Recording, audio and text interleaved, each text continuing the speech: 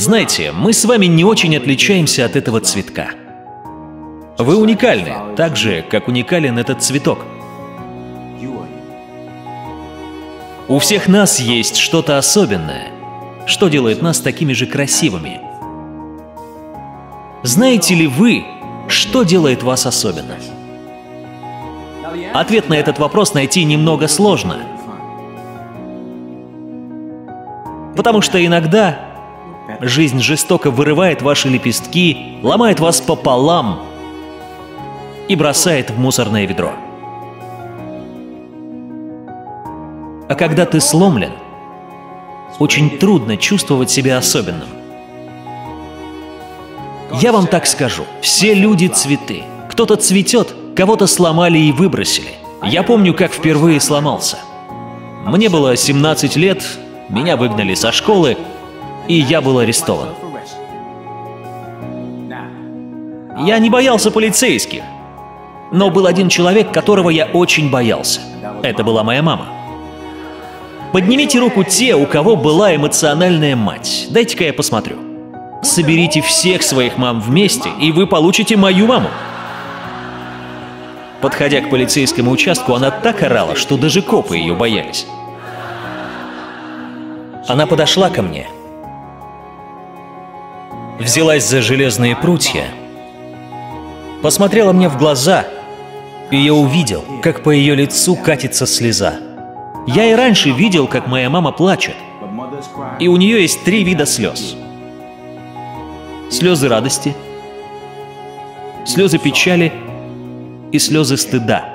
И когда сын видит, как его мать плачет от стыда, тогда и наступает переломный момент. Она посмотрела на меня и сказала, «Сынок, я хочу, чтобы ты был лучше». В ту ночь, когда я ехал домой, Отец ждал меня дома. У меня очень классный отец. Поднимите руку, если у вас классный отец. Так вот, собрав их всех вместе, вы получите моего отца. Он подошел ко мне и сказал, «Сынок, все нормально, не переживай. Тебя исключили со школы, ты прошел через арест, и это хорошо. потому что теперь я хочу, чтобы ты немедленно устроился на работу. И я сказал, окей. Мой отец отвел меня на встречу с одним его другом по имени Сэм. Сэм был бухгалтером, и у него была своя бухгалтерская фирма. Он великодушно решил сделать меня своим личным помощником. Сэм был похож на плюшевого мишку, но было в нем что-то особенное. Я посмотрел на него, он посмотрел на меня — а потом он сказал удивительную вещь. Он сказал, знаешь, я вижу в тебе есть что-то особенное, но пока не знаю что. Если ты решишь поработать со мной, я могу помочь тебе найти это.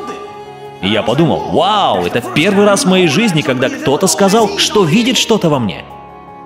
И я начал работать на Сэма. И каждый день после работы он рассказывал мне о мире, об истории, культуре, философии.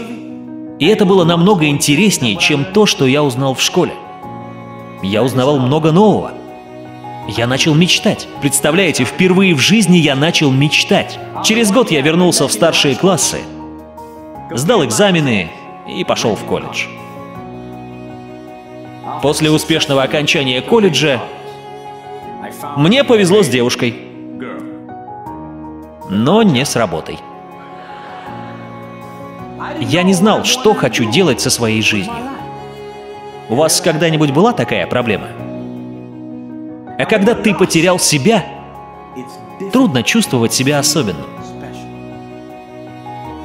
Так что я вернулся к своему классному отцу и сказал, «Знаешь, папа, я чувствую себя потерянным». И он сказал, «Ты как твоя мать».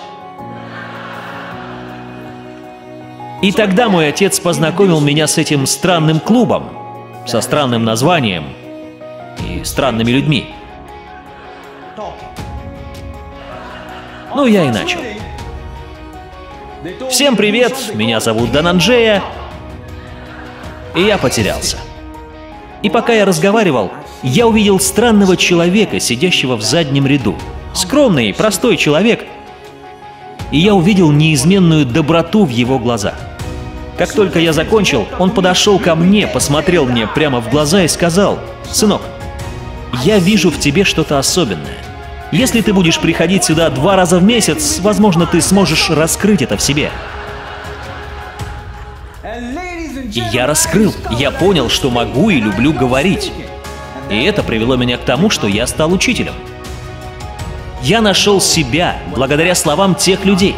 Я знаю, каково это, когда ты на мели и когда не можешь оплатить счета. Иногда посреди ночи я просыпаюсь, бужу свою красавицу-жену и спрашиваю ее. «Дорогая, почему ты вышла за меня?» И она отвечает. «Я увидела в тебе что-то особенное». Но до сих пор не знаю, что именно.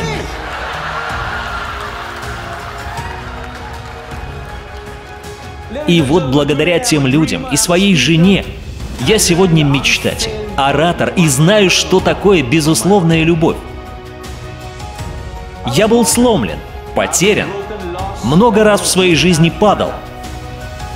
Но люди смогли заглянуть в мусорное ведро и своими словами снова собрать меня – и если бы я не услышал от других те слова поддержки, я бы никогда не нашел их в себе сам.